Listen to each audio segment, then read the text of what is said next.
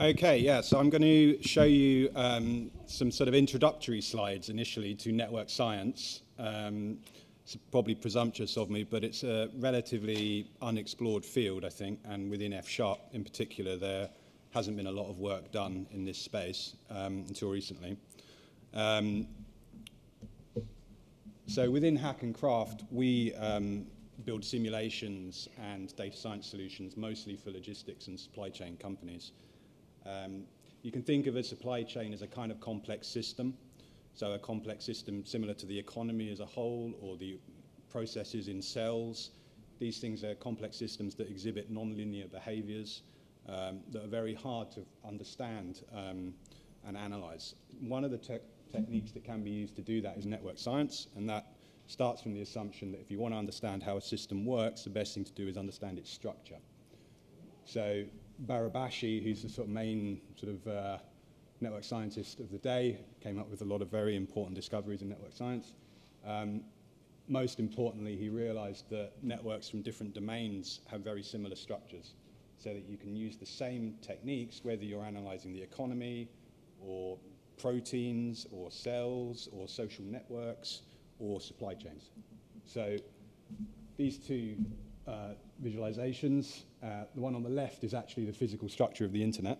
So these are routers connected, and this is the structure of the web. So the pages that run on the routers. So you get some, the other nice thing about network science is you get lots of nice visualizations.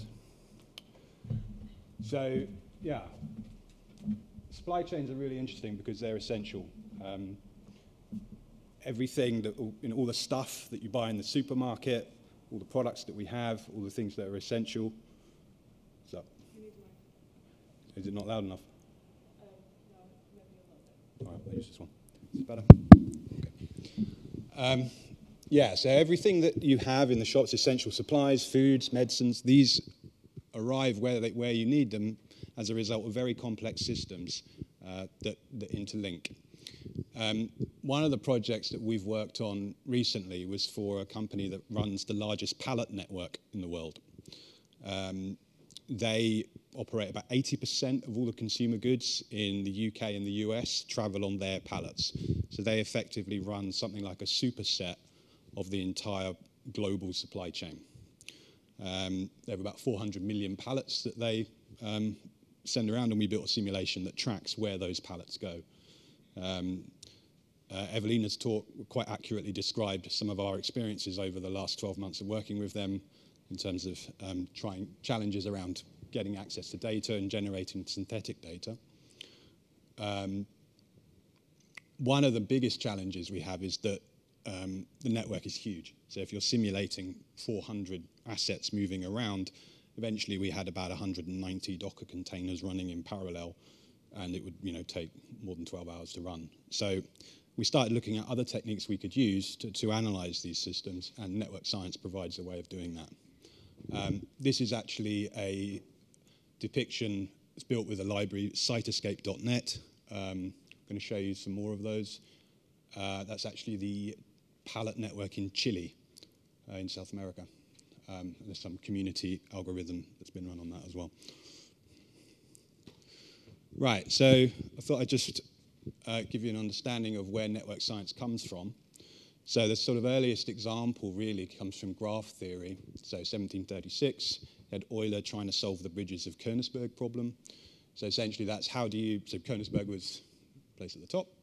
Um, essentially, how do you go over every bridge but only once over each bridge? And you can see in the second one, he thought of the bridges as effectively the edges and the land masses that the river uh, divides as the nodes. And then you can represent it as a network or graph here. And that led to the intuition that you can only have two numbers of nodes with an odd number of edges. Um, otherwise, you would always be crossing the same bridge twice or leaving a bridge uncrossed.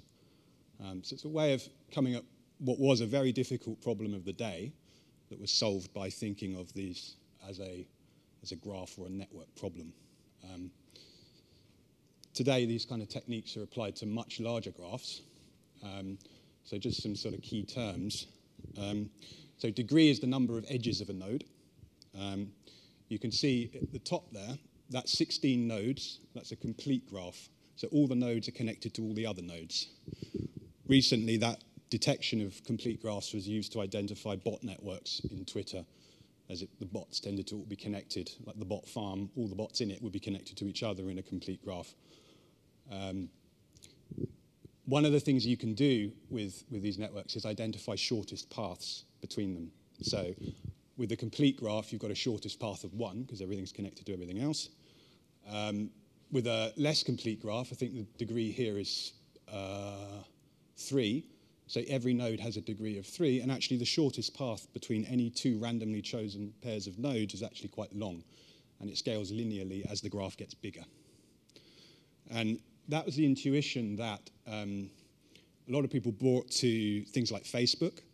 Um, it's a surprise that on Facebook they've analysed that if you take any two random people on Facebook, the average distance between those people is about 4.7, which is a lot less. So you're kind of you know 4.7 friends away from Barack Obama or anyone else you can think of, um, which is, was a surprise. The first example of that was an experiment done by Milgram, um, in the 60s, he's better known for the prison experiments where he got, the, got people to shock prisoners, which is a bit macabre. But um, the letter experiment, he chose, uh, I think he did one or 200 letters, and he sent them out to people with a target. The letter was supposed to arrive at two people in the US. And he sent them out to random people and said, send this to the person you think is most likely to know this person. And then eventually the letters would arrive and they knew how many people that had posted that letter. So it's effectively a chain letter where you're counting the numbers of times it's been posted. So, and counter, counterintuitively, again, the um, real social network was, had smaller, shortest paths than people expected. It was 5.2.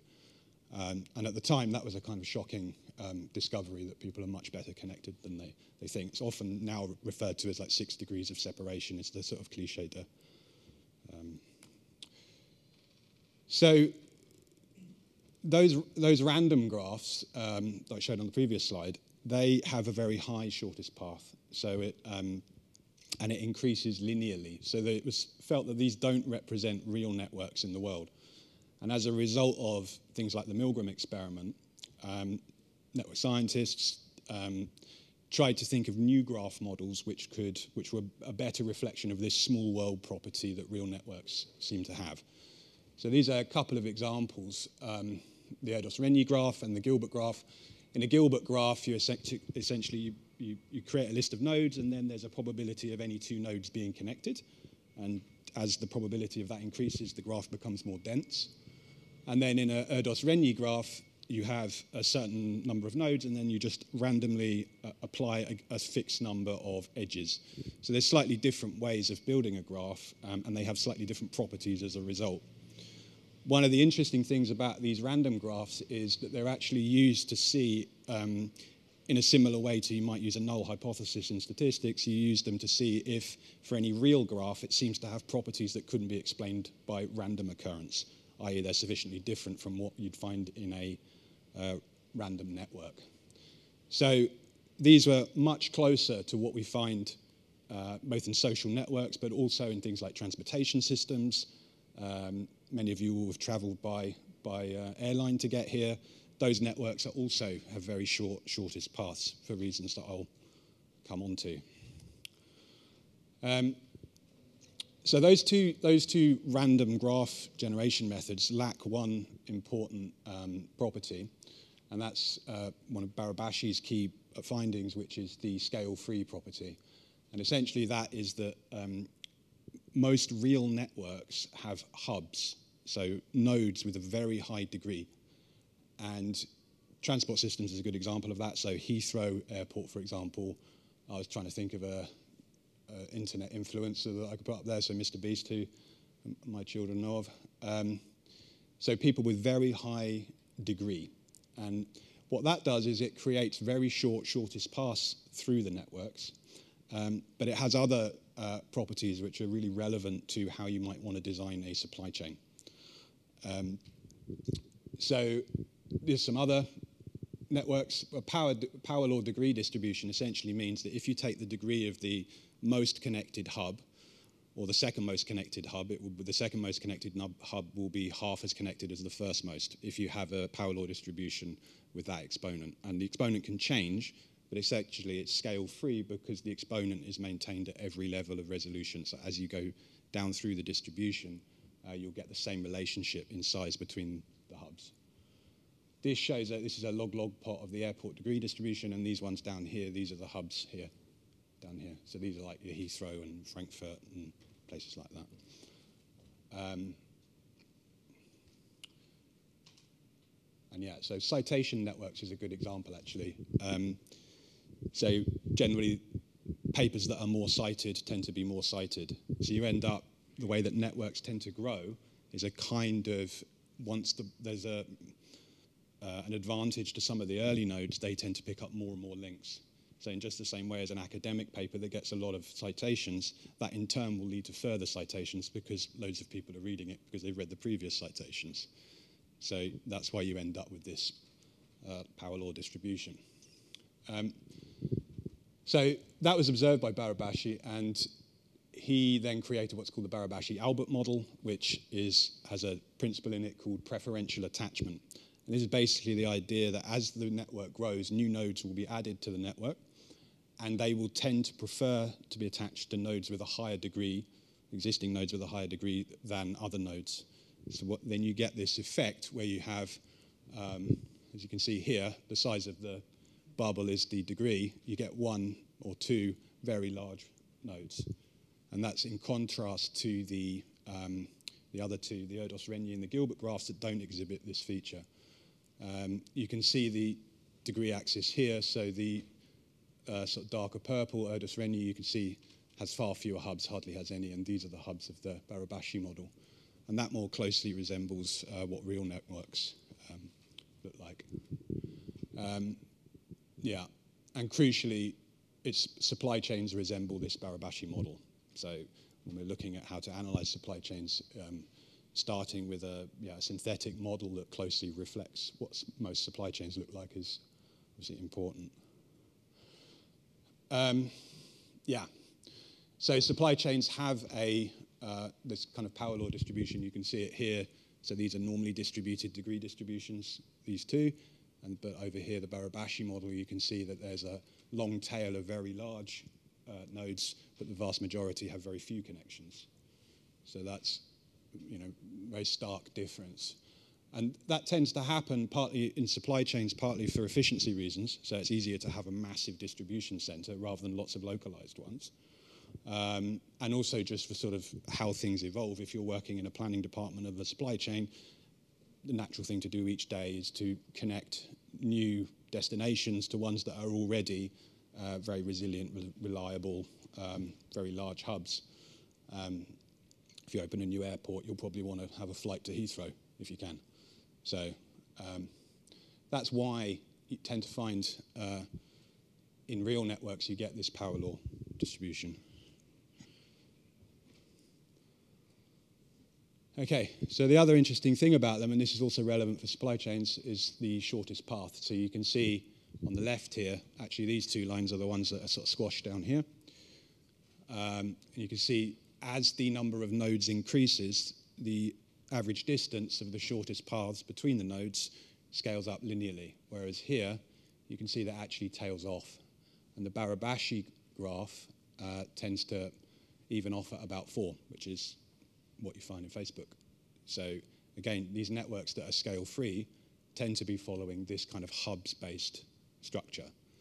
Um, now, there's a sort of key problem with this for supply chains, and that is that they are very vulnerable. So, as you can imagine, you know, with flight delays, Heathrow goes down, nobody's going anywhere because all the connecting flights are going through there. The same thing recently with supply chains with the Suez Canal getting blocked. Same thing, it's a hub, and then they just can't pass through. Um, so what, one of the things we do in Hack and Craft is simulate what would happen under different scenarios. So when the supply chain is being disrupted, what would happen? And there's two different kinds of disruptions you can have in supply chains. You can have random attacks, which is basically things like you know fires, um, things that are not in any way targeted and can happen to any node. Then you have targeted attacks, and one standard way that you model that is you target the degrees with the highest sorry, you target the nodes with the highest degree. So you start, you know, by if you're gonna if you want to take down the transportation system, you would start with Heathrow. You know, if you want to um, reduce the amount of traffic in social networks, you would take down the, the influencer accounts first. Um, and these Barabási models, as a result, are very susceptible to targeted attacks. Because Barabási models have hubs, very large degree. If the targeted attacks are attacking the ones with a large degree, the network's going to um, break apart faster. Um, so on the y-axis, you've got the size of the largest component. So components in a network are um, connected subgraphs, if you like.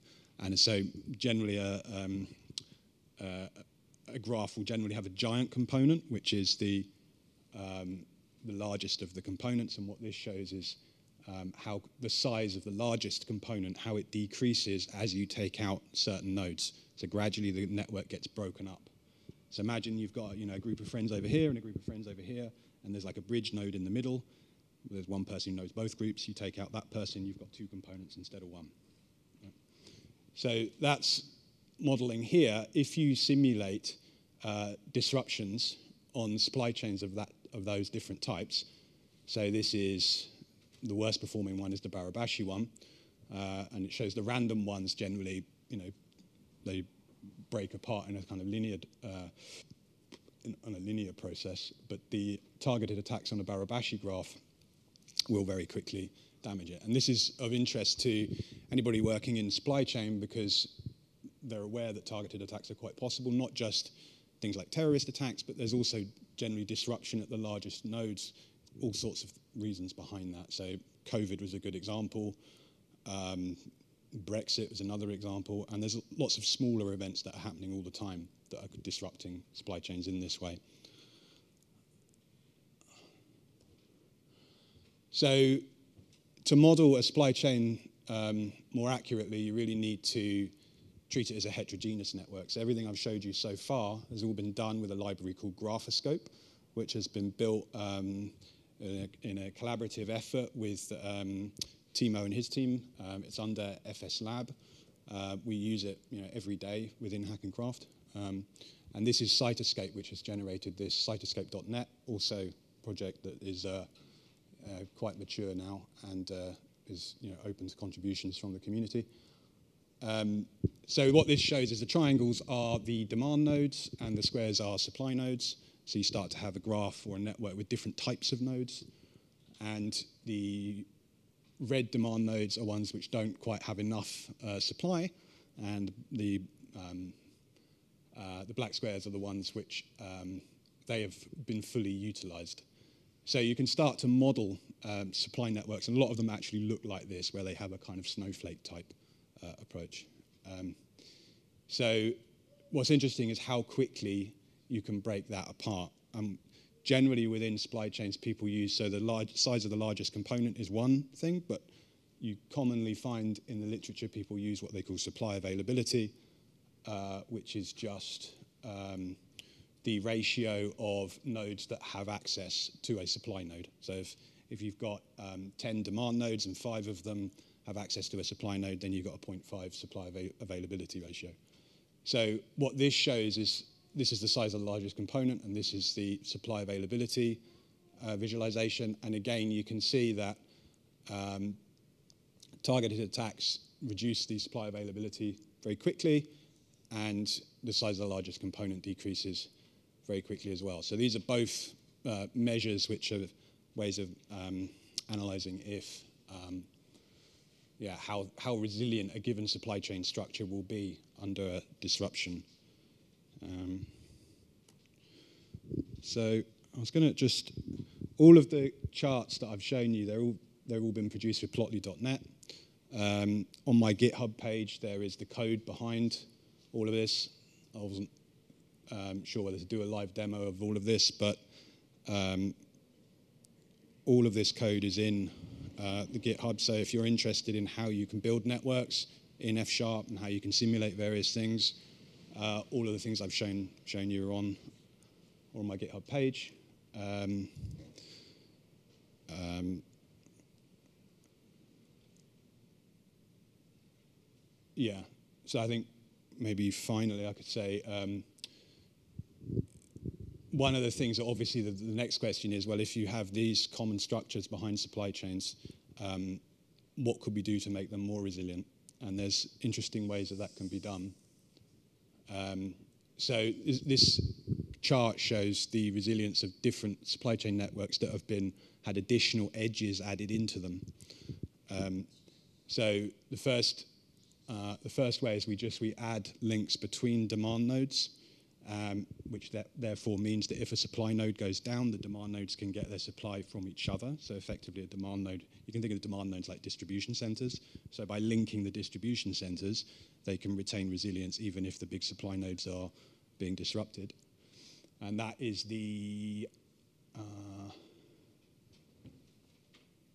yeah, that's the blue line. And then you have the green line where what you do is you link the uh, demand nodes to uh, other nodes that have a very high degree um, so that those demand nodes are served by more than one supply node. So if one of the supply nodes is taken out, the demand node is still being serviced and then can also supply the other child demand nodes that it has. And then finally, the most effective way of maintaining resilience in the network is to uh, connect the uh, demand nodes based on uh, other demand nodes or the other demand nodes that are connected to supply nodes with a low degree. So it's kind of intuitively true that if you're suspecting targeted attacks, it actually makes sense to have your demand nodes connected to supply nodes with a very low degree as they're less likely to be targeted. And what interesting consequence of that is that supply chains with a more distributed and localized structure are going to be more resilient than those which are heavily centralized around a few hubs. All right, so these three things are all of the stuff I've shown you has been built with those, those three libraries, the mature libraries. We use them every day. The stuff we've supplied for the um, pallet company I was talking about, which is running the largest supply chain in the world, a lot of the stuff that we're providing to them was built with these three libraries. Um, one of my hopes out of this conference is that the community will come together around contributing to these libraries to bring them forward, to try and reach a critical mass where they can become more, more mature and fully featured. Um, Graphoscope, which is the um, network library, is not mentioned here, it hasn't got a logo yet because it's quite early stage, but um, you can find that on the FS Lab GitHub page as well. Um, and yeah, that's the link to the, to the code that generated all of the things I've shown. And then lastly, a little plug. Um, we're also hiring, so we have these, these projects are expanding. And so if you're interested in hearing more, um, please you know, send me an email or come and talk to me over the next three days. Thank you very much. Cheers.